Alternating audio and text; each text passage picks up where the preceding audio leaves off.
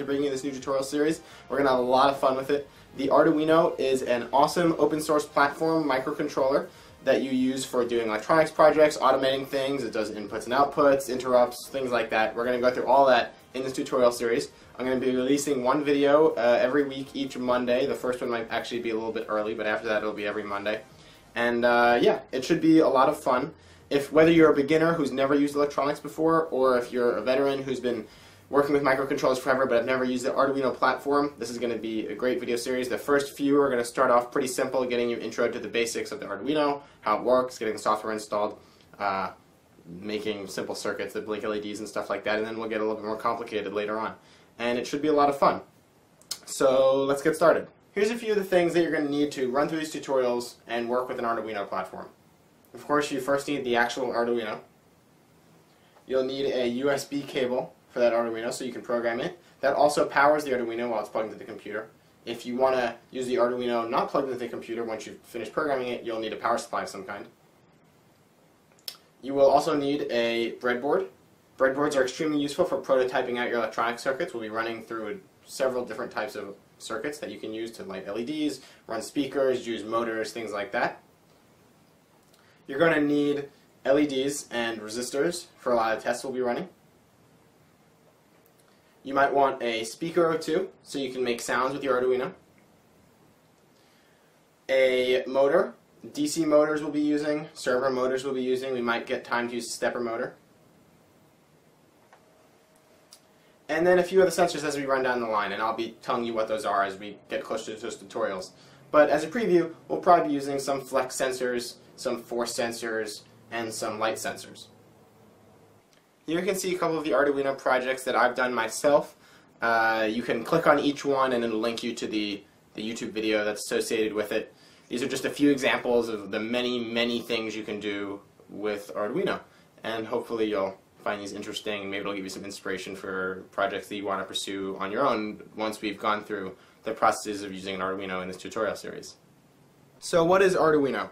Arduino is this open source hardware prototyping platform that's based around the Atmel Atmega series of microcontrollers. And you can program those on your own using something called an ISP programmer, and you program those in C code, uh, which is something I've done for several projects uh, in my research lab at school. But and, and that's really nice, and you can do a lot of really cool things with them.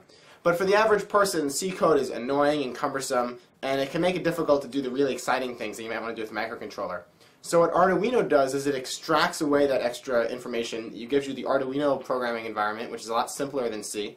Uh, and the way it does that is there's a special piece of firmware loaded on here. The Arduino firmware is loaded onto this Atmega chip that comes preloaded on Arduino boards.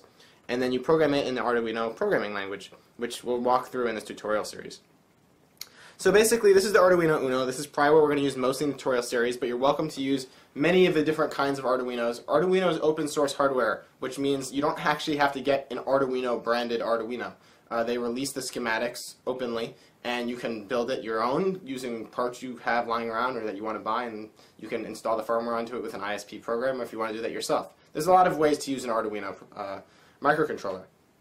But we're probably going to stick to the Uno because this is the easiest one to get. Uh, you can go grab it at element-14.com. It has a USB port for programming, uh, a uh, DC power jack, the power regulator for that. You can power this thing via a battery, or you can power it via a DC power source that plugs into the wall. Uh, we have reset button, ISP programmer, the actual Atmega chip itself, and then a bunch of ports for plugging in your inputs and outputs. And that's basically the Arduino Uno in a nutshell. So let's now take a look at how you get your computer set up to be able to program your Arduino. Start by navigating to Arduino's website in order to download the open source Arduino programming environment. It's arduino.cc. Click on the download button. Scroll down, download the version for whatever operating system you're running on. I'm on Windows right now and it's just a zip file. You don't actually have to install anything. So just download it to your desktop or wherever you want to put it, and then uh, download it. Wait for it to extract, and uh, that's it. You're ready to run the program. So what you then do is just open up the program, we now have the Arduino programming environment open for the first time. Let's always start by saving our file first so that we don't lose it.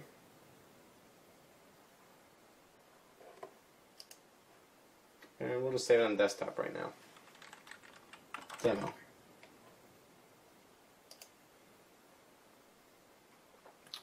Arduino programs are always saved in a folder with the same name as the sketch. The sketch is what Arduino calls the program. It's called the sketch. The next thing you want to do is make sure you're set up to program the right type of Arduino. So if you go to Tools and Board, you want to make sure you have the right one selected. We're using the Arduino Uno, so you'll select that one. If you're using a different Arduino, make sure you select the appropriate thing from the drop-down menu. We're now ready to program our Arduino. To get us started, let's walk through making a very simple Arduino program. All this program is going to do is going to blink the onboard LED on and off. All Arduinos have an LED connected to pin 13, so we don't even have to hook up any external circuitry. We're just going to make the built-in LED blink on and off. It's always a good idea to start by commenting your code. In Arduino, you do this either with a double slash for a single line comment or a slash star for multi-line comment. And we'll call this Jeremy's first program. It's awesome. It's always a good idea to define constants at the top of your program. So let's do that. int LED pin equals 13. So for those of you who haven't done much programming before, all this is doing is saying that there's an integer, 13. An integer is just a whole number. Um, and this constant is, or this variable is defining what pin on the Arduino the LED is hooked up to. It's pin 13. All Arduino programs have to have two methods in them. The first one is void setup, which looks like that. And the content of that is going to go inside these brackets. The second part of in every Arduino program, it can be empty if you want, but it has to be there, is void loop. And what these two parts of the program are doing is the first one is setting up things that will run once at the beginning of the program when the Arduino is turned on. And the loop part of the program is setting up things that will run continuously in a loop forever as long as the Arduino is on. And this is something that you very commonly want to achieve with a microcontroller. You want to have it do something forever until you turn it off. In the setup program, making sure we comment everything, we're going to initialize the digital pins as outputs.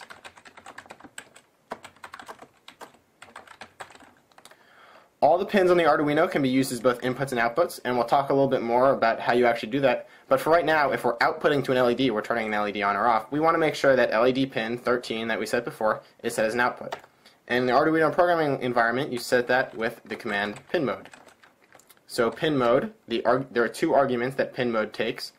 The actual pin that you want to set, in this case it's LED pin, and whether you want it to be an input or output, and we want it to be an output and you always terminate every line with a semicolon. Now we're going to write our loop. So the loop is very simple. All it's going to do is turn the LED high or on, wait a little bit, turn it off, and then wait a little bit, and then it'll repeat and keep blinking the LED on and off. So to set the value for a digital pin, you use a command called digital write. Once again, it takes two arguments. The first one is which one you want to write to. Again, it's going to be LED pin. And whether you want to set it high or low. High means on, low means off. So we're going to start by setting it high. Now we want it to stay high before it does the next thing. So we'll put a delay in there. The delay takes an argument in milliseconds, so 1,000 milliseconds is one second, so we'll put in a 1,000. That'll keep the LED on for one second until we do the next command, digital write, LED pin low. And that will turn it back off again. And then we want it to stay low for a second. Delay 1000. And then I'll keep it off for a second. And then at the end here, it'll loop from the last thing it did back up to the beginning of the loop where it'll turn on again. So this will cause the LED to blink on or off, holding for one second each time. And that's our first Arduino program. That's all there is to it. Now we're going to take our USB cable and plug it into the computer and the Arduino. Like that. See the the Arduino kind of lights up there. So if you're on Windows, which I am, you're going to have a problem with the Arduino Uno not installing the driver properly. This is because of change that they made to the USB interface on the Uno board from the older version of the Arduino boards. If you have an older version, it should just install automatically. If you have the Uno, though, you'll have to follow these steps. So you're going to click on the Start menu, go to the Control Panel, navigate to System and Security. If you are viewing by category,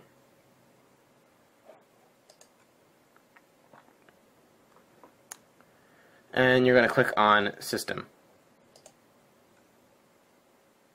Now go to Device Manager. Okay, and now you'll see the Arduino Uno over here. Click on that and go to the Update Driver Software option. And we're going to browse the computer for the driver software.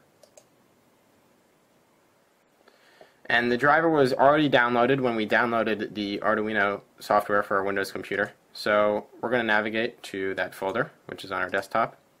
And in the drivers folder, you just click on the drivers folder right here, hit OK, hit next. Going to say it can't verify the publisher, that's fine, install the software anyway. Okay, we're all done. You can hit close, close out those windows, close that, and we're ready to program our Arduino. And to do that, all you have to do is hit this little upload button right here. It'll compile it and send it over to the Arduino board. Ah, you have to make sure you have the right COM port selected.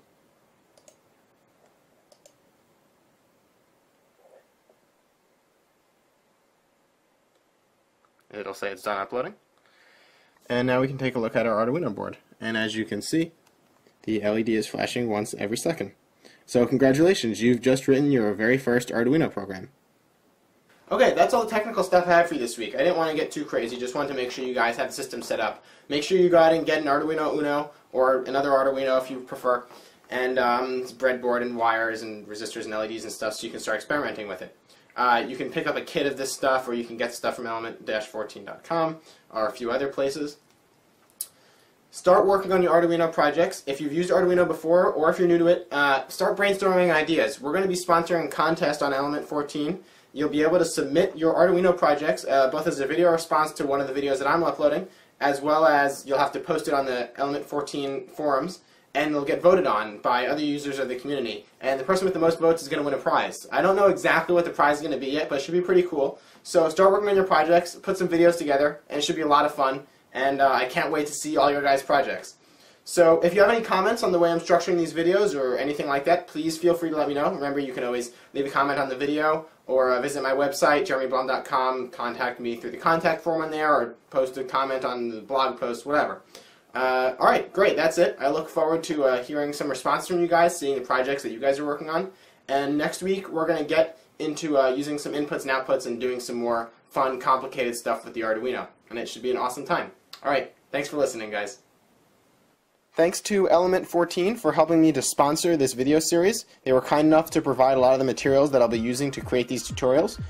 Feel free to go visit their website at element14.com. Check out their community, which is a great place to talk to people about electronics, the Arduino, and basically anything else engineering related.